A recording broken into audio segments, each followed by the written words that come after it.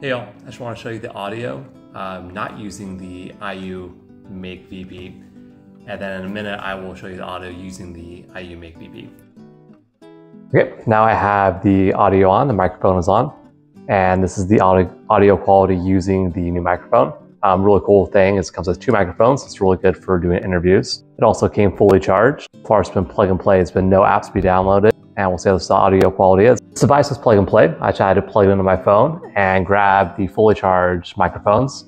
Uh, there's a small button on the back side. It's the typical on-off switch. And you hold it and the microphone will turn green when it's ready to go. That lets you know that it's on. And to turn it off, you hold the button for three seconds and the green light will disappear. I'm gonna take the microphone and hold it close to my mouth to see how that affects the audio quality. Hopefully it doesn't affect it too much. I would ideally want the audio to go well it's just connected to my lapel instead. As you can see, the green light is on, indicating that the device is also on. We're gonna try using the audio quality when I have noise in the background. My wife and daughter are speaking in the background. So much noise they can capture. I don't know if you guys can hear anything, but so far it seems to, hopefully it's gonna only capture my voice. Hey, I just wanna give you one more sample of what the audio sounds like when the device is not plugged in, just using the audio from my phone.